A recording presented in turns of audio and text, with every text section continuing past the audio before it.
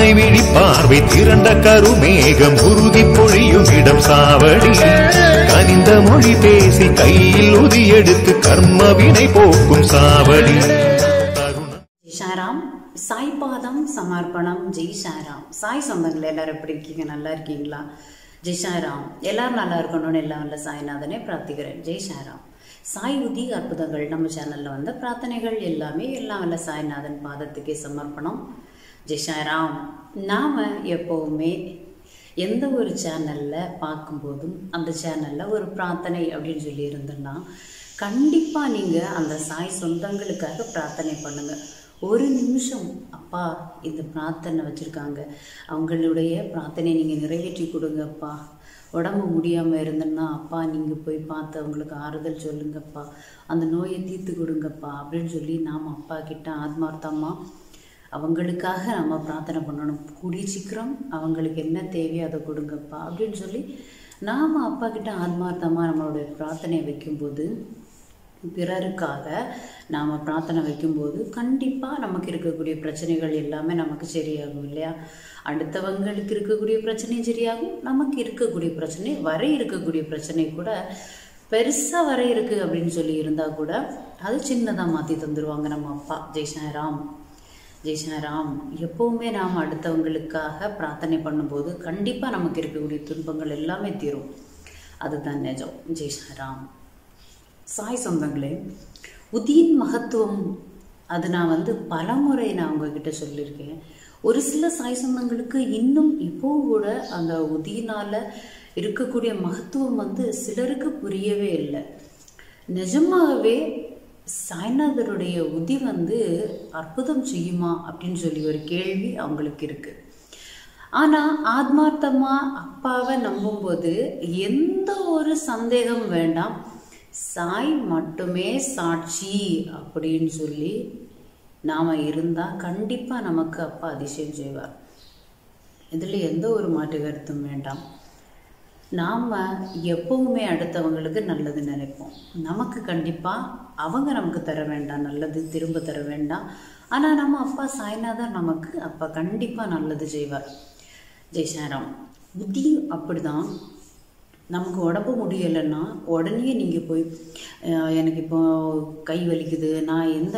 tablet எடுத்து போட்டால் என்னுடைய கை வலி சரியாகும் அப்படின்னு சொல்லி நீங்கள் யோசிக்கிறது காட்டணும் அது ஆத்மார்த்தமாக நீங்கள் அப்பாவை நம்புறீங்க இல்லையா அப்படின்னா ஓடி போய் அப்பா முன்னாடி போய் அப்பா என்னுடைய கை இதுப்பா நீ இந்த கை வலியை சரி பண்ணி அப்பா கண்டிப்பாக இப்போ நீ அதிசயம் பண்ணணும்ப்பா அப்படின்னு சொல்லி உத்தி எடுத்து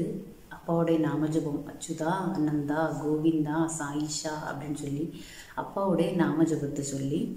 அந்த உதியை தண்ணியில் கொஞ்சோண்டு உத்தியை கையில் எடுத்து வச்சு தண்ணியில் நல்லா மிக்ஸ் பண்ணுங்கள் மிக்ஸ் பண்ணிவிட்டு உங்களுக்கு கையில் எந்த இடத்துல வலி இருக்கோ அந்த இடத்துல நீங்கள் போடுங்க கண்டிப்பாக சரியாகும் ஜெய் ராம் அதே நேரம் ஒரு பிஞ்சு உத்தி எடுத்து தண்ணியில் ஒரு கப் தண்ணி ஒரு கப் நிறைய தண்ணி எடுத்து அதில் ஒரு பிஞ்ச் உத்தியை போட்டு அப்பாவோடய நாமஜபம் பதினோரு முறை சொல்லி உங்களுக்கு இருக்கக்கூடிய பிரச்சனை அப்பா எனக்கு இந்த கை வெளியும் சரி பண்ணி தாங்கப்பா அப்படின்னு சொல்லி நீங்கள் அந்த தண்ணியும் குடிச்சு உதி கலந்த தண்ணியும் குடிச்சு அந்த உதியும் கையில் போட்டிங்கன்னா கண்டிப்பாக அதிசயம் நடக்கும் எங்கள் வீட்டில் அடிக்கடி அப்பாவோடய பேரை சொல்லி தான் எங்கள் வீட்டில் அடிக்கடி அதாவது உதியின் அற்புதத்தை வந்து எனக்கு இந்த இடத்துல உட்கார வச்சுருக்காருனாலே அதுக்கு ஒரு காரணம் இருக்குது அந்த உதி வந்து அவ்வளோ தூரம் எங்களுக்கு எங்களுக்கு அதிசயம் பண்ணிகிட்ருக்காரு அந்த உதியினால் உடம்பு முடியாமல் இருக்கும்போதெல்லாம் பல நேரங்களில் உதி மட்டும்தான் எங்களுக்கு மருந்தாக இருந்திருக்கு என்னோடய குழந்தைங்க கீழே விழும்போது உதி மட்டும்தான் எங்களுக்கு வந்து பெரிய ஒரு பொக்கிஷமாக இருந்திருக்கு மருந்தாக இருந்து எங்களுக்கு செடி பண்ணி தந்திருக்கு ஜெய் எங் எங்களுக்கு தெரிஞ்ச முஸ்லீம் சகோதரர்கள் நிறைய பேருக்கு இந்த உதி வந்து அற்புதம் பண்ணியிருக்கு நீங்களும் ஆத்மார்த்தமாக நம்புங்க கண்டிப்பாக உங்களுடைய வாழ்க்கையிலையும் வந்து உத்தி உங்களுக்கு இதுவரையும் தீராத நோய் இருக்குது அப்படின்னா கூட அந்த நோயை அப்பா உதி மூலமாக சரி பண்ணி தருவார் நான் இப்போ உங்கள் கூட பகிர்ந்துக்க போகிறது வந்து ஜெய்சாராம் உத்தினால் நடந்த அற்புதங்கள் பல இருக்குது என்னோடய லைஃப்பில் அப்பா நிறைய அதிசயம் பண்ணியிருக்கார் நான் இன்றைக்கி உங்கள் கூட பகிர்ந்துக்கிறது ஒரு கிறிஸ்தவ ஒரு சகோதரர் ஒரு பெரியவங்களுக்கு நடந்த அதிசயத்தை தான் நான் இன்றைக்கி உங்கள் கூட பகிர்ந்துக்க போகிறேன் ஜெய்சாராம் எல்லாம் வரல சாய்நாதன் அப்பா ஜாதி மதம் கடந்தவர் இல்லையா இந்த இந்த முஸ்லீம் தான் அப்பான்னு சொல்லி யாரும் சொல்ல முடியாது யார் கிறிஸ்டின் தான் சொல்ல முடியாது யார் இந்து தான் சொல்ல முடியாது அப்பா அப்பா எல்லாத்தையுமே கடந்தவர் யார் ஆத்மார்த்தமாக சாயின்னு கூப்பிடுறாங்களோ அவங்க கிட்ட போய் அப்பா உட்காந்துருந்துருவார் நீங்கள் கூப்பிட்டாலும் சரி யார் கூப்பிட்டாலும் சரி ஆத்மா ஆத்மார்த்தமாக அப்பாவை சாயின்னு கூப்பிட்டாலே போதும் அவர் ஓடி வந்து கிட்ட வந்துருந்துருவார் இதில் எந்த ஒரு சந்தேகம் ஒன்றுமே வேண்டாம் பல வருஷம்தான் நம்பி அவரை வணங்கியிருக்கணும் இப்போ தான் இப்போ தான் நீங்கள் இந்த பதிவு மூலம்தான் நீங்கள் இப்போ தான் நீங்கள் சாயை தெரிஞ்சிருக்கீங்க அந்த சாய் அப்படிங்கிற பேர் கூட இப்போ தான் நீங்கள் கேள்விப்படுறீங்கன்னா கூட கண்டிப்பாக நீங்கள் ஆத்மார்த்தமாக சாய் அப்படின்னு சொல்லி சொல்லி பாருங்கள் உங்களுக்கிட்டே வந்து இருப்பார் ஆத்மார்த்தமான நம்பிக்கை மட்டும்தான் எப்போவுமே சாய்க்கு வேணும் அறக்குற நம்பிக்கையெல்லாம் அப்பா கிட்ட எடுபடவே செய்யாது ஜெய் ஷாராம் எப்போவுமே திக்கற்றவரின் தெய்வம் சாய் மட்டும்தான் நம்பணும் ஜெய் ஷாராம் நான் இப்போ உங்கள் கூட பகிர்ந்துக்க போகிறது ஒரு கிறிஸ்தவ சகோதரர் லைஃப்பில் நடந்த ஒரு புத்தி அற்புதத்தை தான் நான் உங்க கூட பகிர்ந்துக்க போகிறேன் ஜெய் அந்த சகோதரர் பார்த்திங்கன்னா அவங்களுடைய உடம்புல அதாவது முதுகு பகுதியிலையும் கையில் ரெண்டு கையிலையும் அவங்களுக்கு வந்து அந்த தோலில் பார்த்திங்கன்னா தோலில் ஒரு மாதிரி ஒரு மாதிரி என்ன சொல்ல அந்த ஒரு தோலெல்லாம் இழகி செவந்து போயிருக்குமாம் ஹாஸ்பிட்டலில் போய் எவ்வளோ ட்ரீட்மெண்ட் பார்த்த பிறகும் அது வந்து அவங்க வந்து நைன்த்து படிக்கும் போதே இருக்கான் இப்போ அவங்களுக்கு நாற்பத்தஞ்சு வயதுக்கு மேலே ஆகுது இருக்குது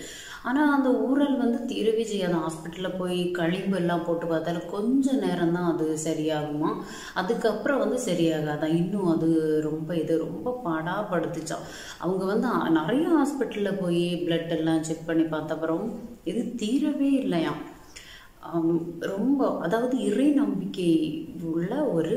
ஒரு சகோதரர் அவங்க அவங்க வந்து அவங்க வந்து ஜீசஸ்னா அப்படி முழங்காலிட்டு மணி மணி நேரமாட்டு பிரார்த்தனை பண்ணக்கூடியவங்களாம் ஜெய்சாராம் இவர் என்ன பண்ண அப்படின்னு சொல்லி ஒரு நாள் வந்து முழங்காலிட்டு வந்து பிரார்த்தனை பண்ணிட்டு இருந்தாராம் நைட்டு பத்து மணிக்கு அவர் தூங்கும்போது என்றைக்குமே வந்து முழங்காலிட்டு பிரார்த்தனை பண்ணிட்டு தான் தூங்குவாங்க பழக்கம் உள்ளவங்க அவங்க ஜெய்சாராம் அன்னைக்கு என்ன நடந்துச்சுன்னா இது நடந்து ஒரு மாதத்துக்கு முன்னே நடந்தது தான் ஜெய்சாரம் என்கிட்ட இப்போ சமீபத்தில் தான் என்கிட்ட பகிர்ந்துக்கிட்டாங்க அப்போது நைட்டு வந்து அவங்க பிரார்த்தனை பண்ணுறாங்க இட்டு பிரார்த்தனை பண்ணிட்டு தூங்குறாங்களாம்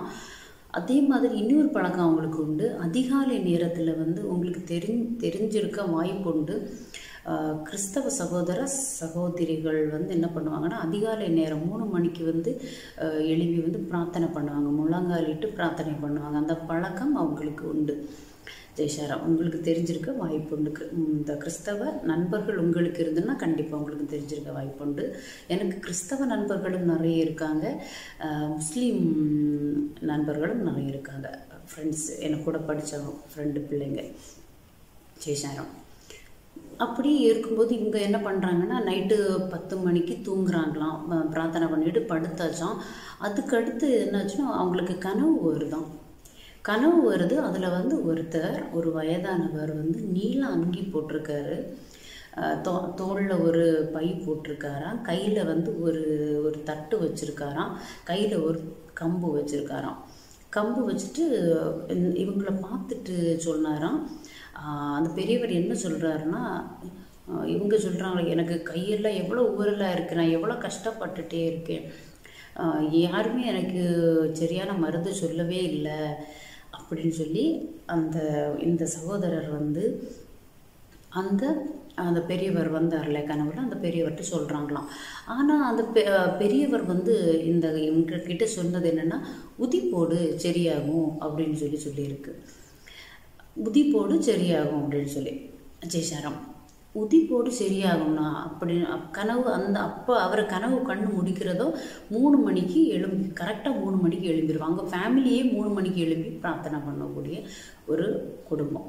அப்போ அவங்க எழும்பணும்னா அவங்க மனைவி அவங்க அம்மா கிட்ட எல்லாம் சொல்கிறாங்களாம் ஒரு பெரியவர் வந்து இப்படி வந்தார் வந்தவர் உதி போடு அப்படின்னு சொல்லி சொன்னார் உடனே அவங்க அம்மா சொன்னாங்களாம் உதி போட தடவி போடுன்னு அதாவது திருஷ்டி சுற்றி போடுன்னு சொல்லியிருப்பாங்க உனக்கு உதி போடுன்னு சொல்லி கேட்டிருக்கு அப்படின்னு சொல்லி சரி உனக்கு நான் காலையில் திருஷ்டி சுற்றி போடுறேன் அப்படின்னு சொல்லி அவங்க அம்மா சொல்லியிருக்காங்க சரி அது முடிஞ்சு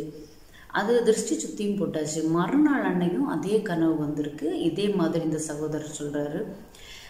எனக்கு கையெல்லாம் எவ்வளோ ஊரலாக இருக்குது தாங்கவே முடியலையே அப்படின்னு சொல்லி சொன்னோன்னே அந்த பெரியவர் இன்னும் சொல்கிறாரா உதி போடு அப்படின்னு சொல்லி சொல்லியிருக்காரு ஜெய்சாரம் இந்த உதி போடுன்னு சொல்லி சொன்ன உடனே ஒரே சந்தேகம் இருக்குது உதினா என்ன அது உதி போடு உதி போடுன்னு சொல்கிறாரே அப்படின்னு சொல்லி வந்த சொன்ன உடனே இவர் வந்து யோசிச்சிருக்காரு உதி போடுனா என்னது யார்கிட்டயா கேட்டு பார்க்கணும் அப்படின்னு சொல்லி அவங்களுக்கு அங் அதாவது இவங்க வந்து முட்டத்தில் உள்ளவங்க அப்போது இவர் வந்து என்ன பண்ணியிருக்காங்கன்னா முதல்ல இவங்க பிறந்து வளர்ந்ததில் முட்டம் இப்போ இவங்க இருக்கிறது வேற ஒரு இடத்துல இருக்காங்க இவங்க வந்து சொல்கிறாங்க சரி உதி போடுன்னா சரி அவங்க ஊர் பக்கத்தில் எல்லாம் ஃபோன் பண்ணி கேட்டிருக்காங்க உதினா என்னது அப்படின்னு அவங்க தெரிஞ்சவங்க அவங்க பெரியம்மா சித்திட்டு எல்லாம்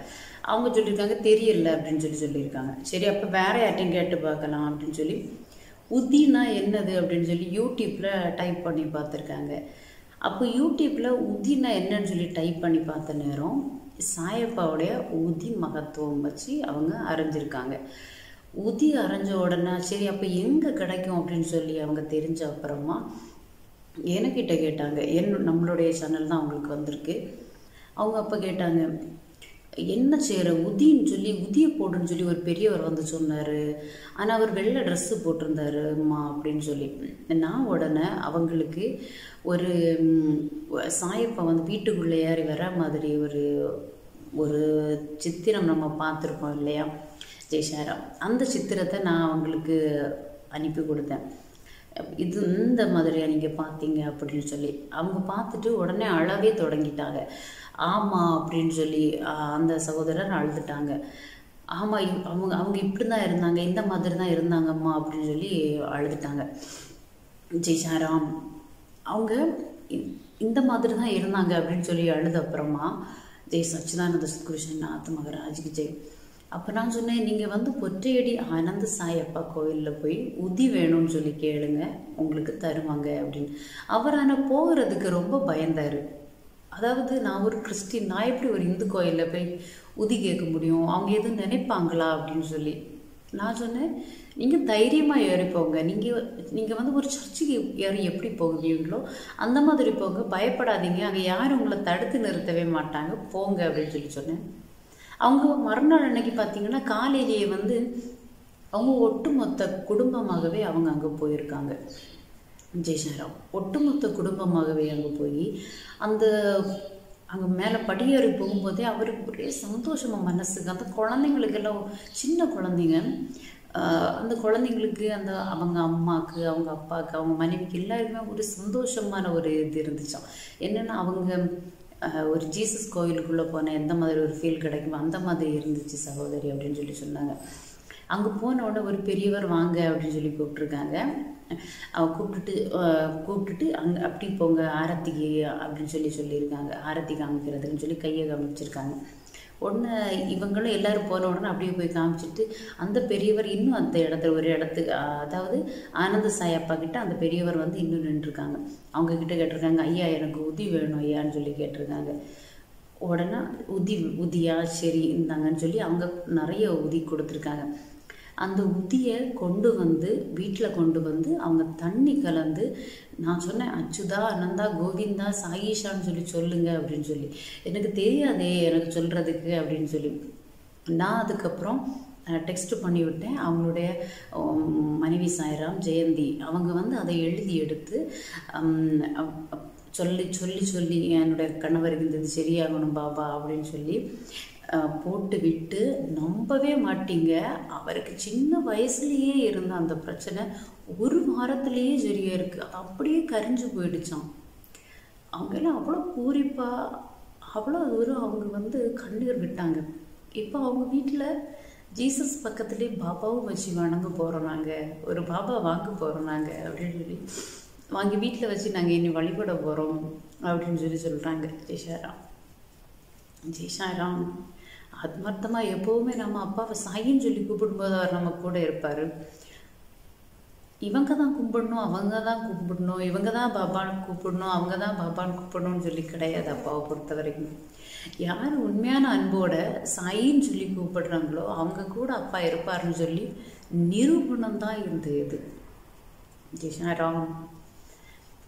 உயிருள்ள தெய்வம் உன்னத தெய்வம் கலிங்க தெய்வம் கண்கட்ட தெய்வம் நம்முடைய சாயிஷா தான் எத்தனை முறை அப்பாவுடைய பேரை நம்ம ஆத்மார்த்தமாக சொன்னாலும் சரி அப்பா ஒவ்வொரு முறையும் நம்ம கிட்ட வந்து உட்காந்துருந்து பார்த்துட்டே இருப்பாங்க நீ என் பிள்ளை உன்னுடைய தேவைகளை நான் நிறைவேற்றி தருவேன் அப்படின்னு சொல்லி நம்மளை ஆசீர்வாதம் பண்ணுவாங்க எப்போவுமே நான் எப்போவுமே அப்பா நான் உன் கூட இருப்பேன்னு சொல்லி தான் நிரூபிப்பாங்க ஒவ்வொரு நாளும் ஆத்மார்த்தமாக எப்போவுமே நாம் அப்பான்னு சொல்லி கூப்பிடுவோம் சாயின்னு கூப்பிடுவோம் கண்டிப்பாக உயிருள்ள தெய்வம் உன்னத தெய்வம் கலியுக தெய்வம் கண்கண தெய்வம் அப்பா நான் அவன் கூட இருக்கேன்னு சொல்லி நிரூபிப்பார் ஜெய்சாராம் என் சாய் சொந்தங்களே ஆத்மார்த்தமாக நீங்கள் உதியை பயன்படுத்துங்க உதி பேசு உதி உங்கள் கூட அப்பா இருக்கார் அப்படின்னு சொல்லி நிரூபிக்க வைக்கும் நம்பிக்கையாக உதியை பயன்படுத்துங்க அவங்களுக்கு நாள் அதிசயம் நடந்திருக்கு இவங்களுக்கு நாள் அதிசயம் நடந்திருக்கு எனக்கு நாள் அதிசயம் நடக்குமா அப்படின்னு சொல்லி அந்த நம்பிக்கையெல்லாம் வேண்டாம் ஆத்மார்த்தமாக அப்பா என் கூட இருக்கார் எனக்கு இருக்கக்கூடிய பிரச்சனையை தீர்த்து தருவார் அப்படிங்கிற நம்பிக்கையோட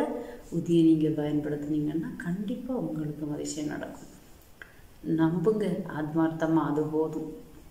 நம்பி நீ மட்டும்தான் சாட்சின்னு சொல்லி அப்பாவோடைய கால்களை இறுக்கி பிடிங்க கண்டிப்பாக கலியுக தெய்வம் கண்கண்ட தெய்வம் ஸ்ரீனிவாசன் அப்பா நிரூபிப்பாங்க நான் அவங்க கூட தான் இருக்கேன் அப்படின்னு சொல்லி ஜெய் ஷாராம் ஜெய் சச்சிதானந்த சத்குரு சாய்நாத் மகராஜ்கி ஜெய் ஜெய் ஷாராம் சாய்பாதம் சமர்ப்பணம் ஜெய் ஷாராம் நம்புங்க நம்பி தான் பாருங்க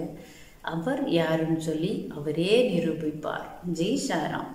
ஜெய் சச்சிதானந்த சத்குரு சாய்நாத் மகராஜ் கி ஜெய் ஜெய் ஷாராம் சாய்பாதம் சமர்ப்பணம் ஜெய் ஷாராம்